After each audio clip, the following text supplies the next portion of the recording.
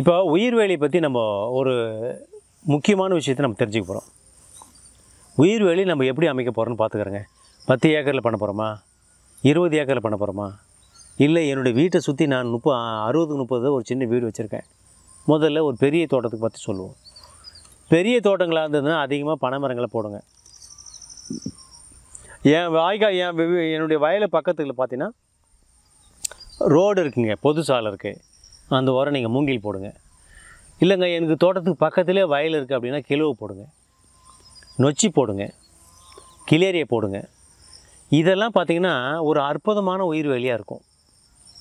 அடுத்தது மூங்கில் நட்டால் நம்ம மக்களுக்கு உடனே ஒரு பயம் வரும். இதில் பாம்பு வந்துடும் அப்படின்னு ஒரு பாம்பு. என்ன நிறைய பேர் கேட்டிருக்காங்க. பாம்பு வரக்கூடாதுங்கிறதுக்கு என்னங்க சட்டம் இருக்குது ஒருவேளை நான் என்ன கேட்குறேன்னா மூங்கில் இல்லைன்னா பாம்பு வருமா வராதா? பாம்பு அதுக்கு வந்தது காரணமே மூங்கில் வந்து கிராமங்களில் நகர்ப்பகுதியில் எங்கேயாவது ஒரு அடர் மூங்கில் இருந்திருக்கும். அதை சுற்றி வெப்பம் அதிகமாக இருந்திருக்கும். குளிர்ச்சியான இடத்துக்கு வந்து அது சேர்ந்துடும்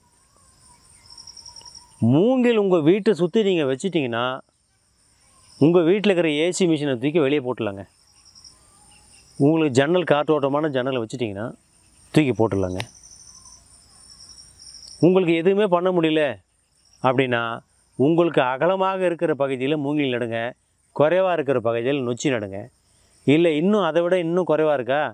ஹைட்டு தான் வேணுமா? எனக்கு ஏழு அடி ஹைட்டில் எனக்கு வேலி வேணுன்றீங்களா கிழவி போடுங்க. இல்லைங்க கிழவு கூட போட முடியாதுங்க. எனக்கு முள்ளே வேணாங்க. இன்னும் அடர்த்தியாக வேணுங்கன்னா கிளேரியா போடுங்க. முள்முருங்கை போடுங்க. முள்முருங்கை அருமையான செடிங்க. அப்படி இல்லைன்னா ஒதியங்குச்சி நடுங்க. அற்புதமான வேலையாயிடும். நீங்கள் காம்பவுண்டே போட்டிங்கன்னா கூட ஈரப்பதமான நல்ல ஒரு சுவாசிக்கின்ற காற்றை உயிர்வேலி தான் கொடுக்கும். காம்பவுண்டு கொடுக்காது. அதனால் இதை மாதிரி இடங்கள் சூழல் பார்த்துங்க. எந்த இடத்துல எதை வேணாலும் வளர்த்துக்கலாம் நீங்கள் கட்டாயமாக நீங்கள் மூங்கில் அதிகமாக போட்டிங்கன்னா அதிகப்படியான ஆக்சிஜனை கொடுக்கக்கூடிய வகையில் மூங்கில் பெரிய பங்கு வகிக்குது. அப்போ அதை நீங்கள் பண்ணணும். அப்படி இல்லைங்க என்னால் மூங்கில் போட முடியாது மேலே லைன் இருக்குது எனக்கு இடைஞ்சலாக இருக்கும் அப்படின்னா கிழுவை நடுங்க. எதுவுமே வேணான்னா குச்சி கிளேரியா குச்சி நட்டிங்கன்னா அது ஒரு வேலையாடுங்க. இதை மாதிரி நட்டுட்டிங்கன்னா உங்களுக்கு காற்று உங்களுக்கு இரவு நேரத்தில் உங்களுக்கு ஃபேன் கூட தேவையில்லை. அவ்வளோ சில்லுன்னு ஆகிடும் இடம். இதை விஷயத்தை நீங்கள் பயன்படுத்தணும். பெரிய பெரிய இடங்களாக இருக்கும்போது அதிகப்படியான யாழ்ப்பனை விதைகளை போடுங்க. இப்போ பனை விதை இந்த வருஷம் முடிஞ்சு போச்சு. அடுத்த வருஷம் முன்கூட்டியே அந்த பனை விதைகளை போடுங்க.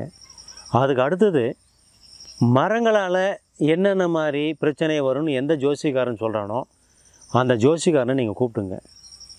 அவன் எங்கேயாவது எங்கேயாவது ஒரு மரத்தை ஊனியிருக்கானான்னு கேட்டு பாருங்கள் அதனால் இப்போ தமிழ்நாடு மு முழுக்க இந்த வேலி கருவேலுங்கிற சீமை கருவேலை வந்து அதிகப்படியான ஈரப்பதத்தை உறிஞ்சது மலட்டுத்தன்மையாவது மாட்டை அது கீழே கட்டினா மாடு செனை பிடிக்கிறது இல்லை அப்படிலாம் நம்ம படிச்சிட்டோம்.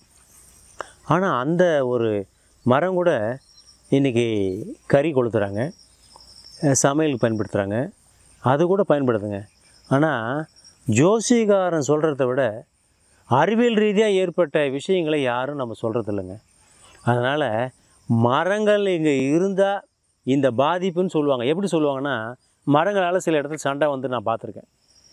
பக்கத்து வீட்டில் இந்த வீட்டில் இருக்கிற இலையை வந்து அங்கே விழுந்தால் இந்த இலை விழுந்து போச்சு அப்படின்னு பிரச்சனை வரும். ஏன்னா மரத்தினுடைய இலை விழுந்தாலே அதை பார்த்து சகிக்காத அந்த கூட்டம் அதுதாங்க மரங்கள் பிடிக்காதுன்னு சொல்லுவாங்க.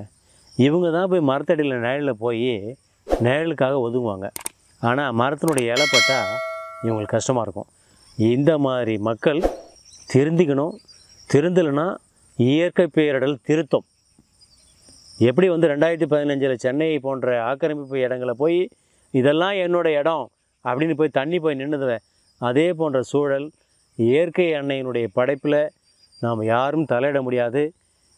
மரங்களால் எந்த மனிதனுக்கும் பாதிப்பை ஏற்படுத்தாது.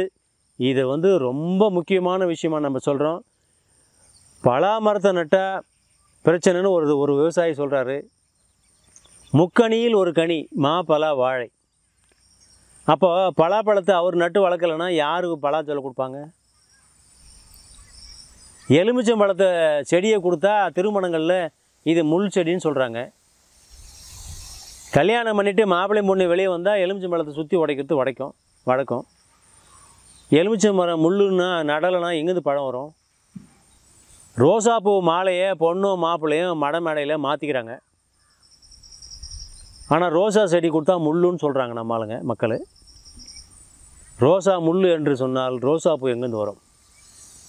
மக்களே இயற்கையோடு சேர்ந்து வாழத்துக்கு முயற்சி செய்யுங்க. எல்லா செடிகளும் எல்லா உயிரினங்களுக்கும் நாம் தீமை அளிக்காது. இயற்கைக்கு மாறாக கலாச்சாரம் உணவை எல்லாம் மாற்றிக்கொண்டது மனிதனே தவிர எந்த உயிரினங்களும் மாற்றிக்கொள்ளவில்லை. எந்த பறவைகளுக்கும் தீபாவளி இல்லை. எந்த பறவைகளுக்கும் சனிக்கிழமை ஞாயிற்றுக்கிழமை விடுமுறை இல்லை. எந்த பறவையும் எச்சம் போட்டு மரங்கள் வளர்த்தால் எதுவும் புகைப்படத்தை எடுப்பதில்லை. எதுவும் சோசியல் மீடியாவில் போட்டுக்கதில்லை. நம்மை தவிர. அதனால் அது அது வேலைகளை அது செய்து கொண்டிருக்கிறது. இயற்கைக்கு மாறாக இருப்பது யார் என்பதை நாம் சிந்தித்தோமானால் கட்டாயம் நாம் இந்த இயற்கை அன்னைக்காக இந்த இயற்கை அன்னையினுடைய பசுமை போர்வையால் போர்த்துவதற்கு ஒவ்வொரு தனி மனிதருக்கும் பங்கு இருக்கிறது என்பதை நீங்கள் எல்லோரும் தெரிந்து கொண்டு மனநிறைவான வாழ்க்கை வாழுங்கள் என்று எங்களுடைய எழுச்சோலை இயற்கை வேளாண் பண்ணை சார்பாக இந்த ஊடகத்தின் மூலமாகவும் இதை இந்த செய்தியை எடுத்துக்கொண்டு செல்கிற இந்த ஊடகத்துக்கும் நன்றி சொல்லி பாராட்டி பாராட்டுகிறேன். நன்றி வணக்கம்.